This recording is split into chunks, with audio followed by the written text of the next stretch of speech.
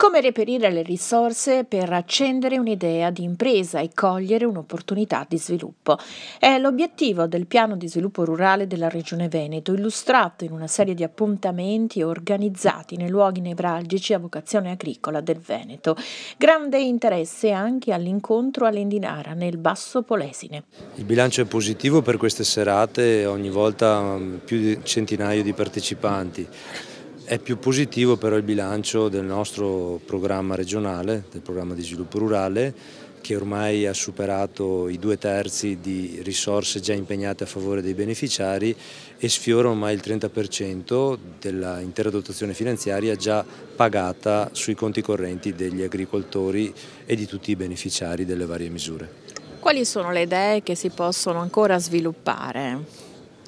Ma in questo momento noi siamo prossimi all'apertura di 12 bandi su 12 tipi di intervento, eh, spaziamo dai, dal sostegno ai giovani agricoltori, al sostegno all'innovazione, all'ammodernamento, agli investimenti delle aziende agricole, per arrivare anche ad alcune misure eh, agroclimatico-ambientale legate alla realizzazione sotto il coordinamento dei consorzi di bonifica di fasce tampone e infrastrutture verdi. Non è solo questione di risorse che purtroppo non sono sufficienti a soddisfare le richieste, ma anche di informazioni che possano aiutare lo sviluppo di un'attività in continua evoluzione, che coinvolge anche altri ambiti, da quello turistico a quello ambientale.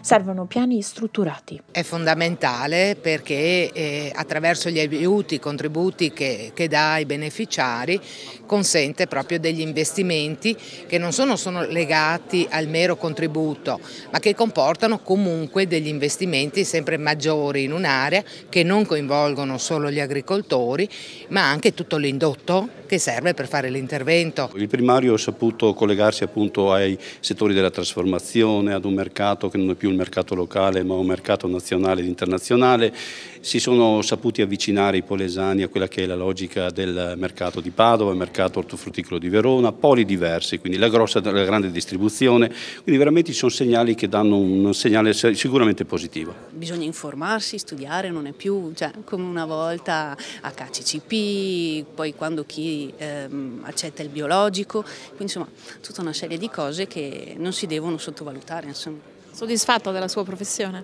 Sì, sì, molto.